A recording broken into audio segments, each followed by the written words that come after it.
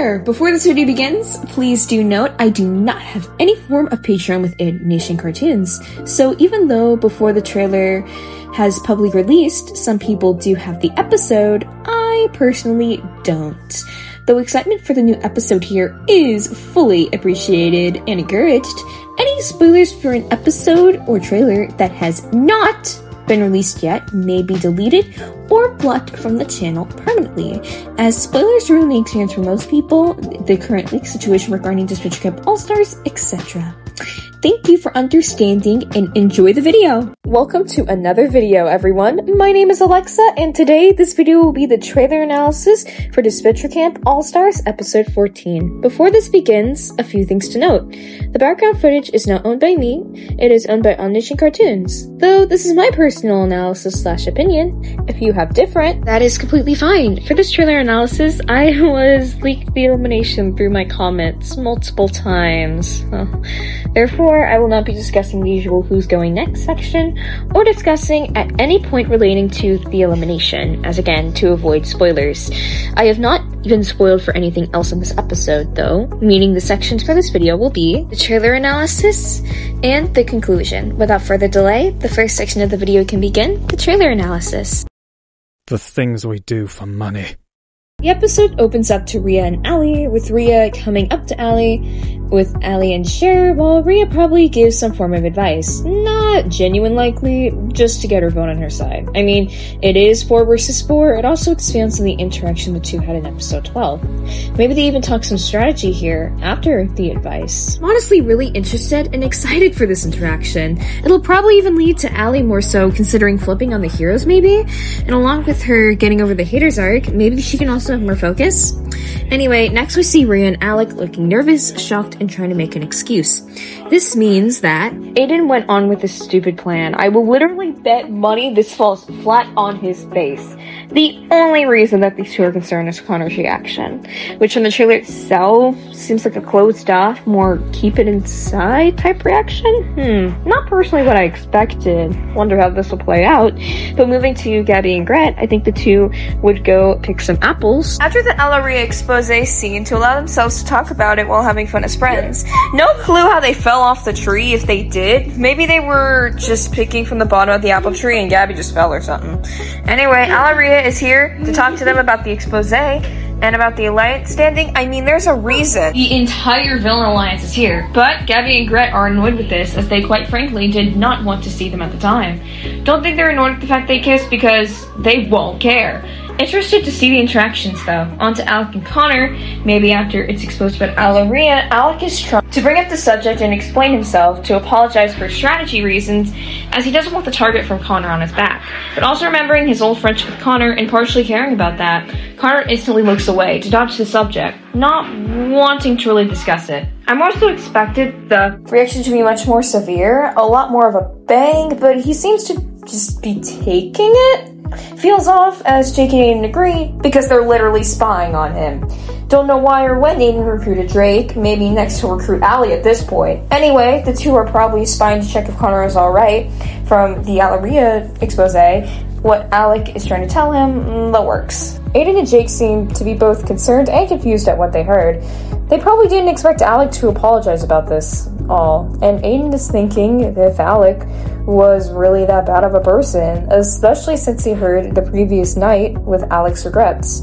Since Jake has a serious look in his eye and nods to the next scene, my guess is he's telling Aiden he's wrong about Alec, and he still is a horrible person, and as Aiden repeats it, he nods. I am partially just waiting for the blowup of Jake eliminating James to pop up, because that is what will really be interesting. Moving on to Trevor and Derek, though heartbroken stuff from the previous night, Trevor asks Derek if he can hang out. Given Derek's bow tie, my guess here is that he says no, since he's going on a date with Crystal. Annoyed at the response, and how Derek, in treating him, he decides to walk off, just mad. Derek, realizing how mad he seems here, tries to reach out, promising they can hang out later on, but Trevor was done with the promises and all, so he just walks off, mad at him. Still wondering how this plot will end, because it's hard to tell right now. Eh. Moving into the next scenes, we have the places they need to. Can't believe I'm saying this, but uh, make TikToks for immunity because I am doubting so many people would willingly make a TikTok by a bear. Unless it was required to win the immunity, including jumping off a cliff to make a TikTok? Like, what? We then just see the entire final eight standing, and Gabby's happiness is just so sweet, and it's saving me from the cringe that is half of this trailer. Crystal then explains the challenge of making TikToks, which is to the annoyance of basically everyone, including me. I don't have TikTok for good reasons, I swear. Connor then tries to discuss such challenge, maybe making a joke out of it, because this challenge feels like a joke. I swear. But Crystal interrupts getting and giving out phones, one for each of the final eight, to record the TikToks. Rule from the beginning of the season being no electronics really is shining bright right now. Also, she does realize they can just look up stuff on the phones, fix their loved ones, etc. Like, nothing wrong with texting loved but my point is, like, there's no reason stopping it. So they're just gonna break that electronic rule and do it anyway if they wanted because no one told them they couldn't. Uh, anyways, moving on to Alec and Connor. Connor is trying to figure out how a phone works as Alec tries to discuss the real situation at hand as he tries to dodge it continuously. This feels like a never-ending game of ping pong. Anyway, I have a quick theory what this challenge is going to be done in duos. Think for a second. Rhea is helping Aiden. Her and him are in the same boat, and there's no blackmail left. Allie and Jake are also sticking with one another, which doesn't feel like a them choice. I mean, we've seen their rivalry. And going by this, the duos for this challenge would be Rhea and Aiden, Allie and Jake, Alec and Connor, and Gret and Gabby. Back to the main trailer though here. Alec fails to with the apology, I would guess, and it moves to Rhea, where Aiden gives an accurate depiction of how I feel about this challenge. Rhea is probably preparing the phone to record as the two jump off the cliff. It's odd to me that Aiden was so willing to jump off. Is he fully over heights? Which great for him, but even because even when it was revealed he was getting over he wasn't falling over. Again, if he is, great for him. I'm just wondering. Anyway, we moved to Rhea telling Aiden to begin to floss, which I thought we left back in the 2016s, but I suppose not. You know, why not revive it for this? Oh my gosh, okay. Then Rhea and Aiden hit the water. I'm guessing Aiden also had to record Rhea doing the floss, oh my gosh, or something like that. As later in the trailer, Connor and Alec are shown swapping places as if Alec is going to record Connor dancing now after he recorded him.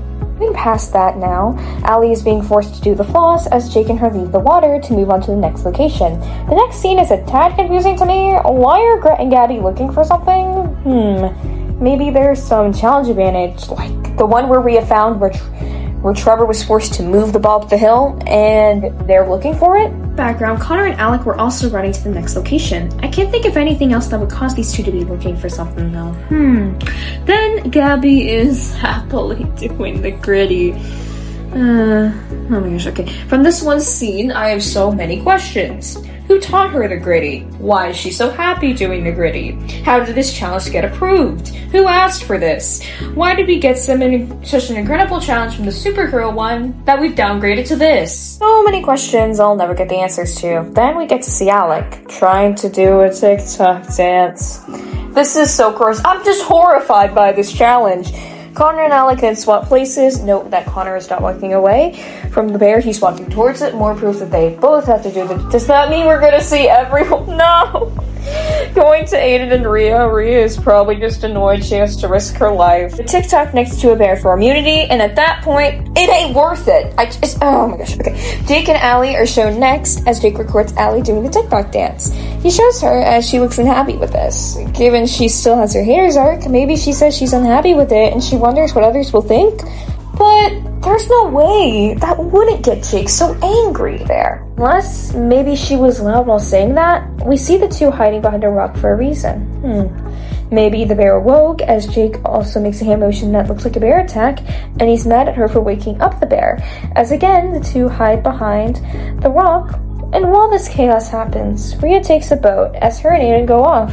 Aiden looks a tad confused. Maybe he doesn't know one of the TikTok dances, but that seems impossible given how much James and him would probably do dances like that. That seems like something wholesome. Whatever it is, he'll eventually figure it out. Uh, Gret and Gabby, along with Alec and Connor, have issues with their boats. There could have not been enough fuel in either, but what if it's sabotage? Hoping it's that because that seems entertaining. Do wonder how Gret and Gabby will handle this, as it's shown how Alec and Connor did, both waving their arms and trying to move the boat that way. We then get the joy of seeing Aiden doing more TikTok dances. As he gets annoyed with Rhea, Alec, and Connor. Don't know why he would be so annoyed at Connor, but hmm. Would it be because he doesn't know what the internet is? But like, why would he? Whatever. Alec then makes a remark towards him, and honestly, now I'm just living for an Aiden and Alec bickering rivalry.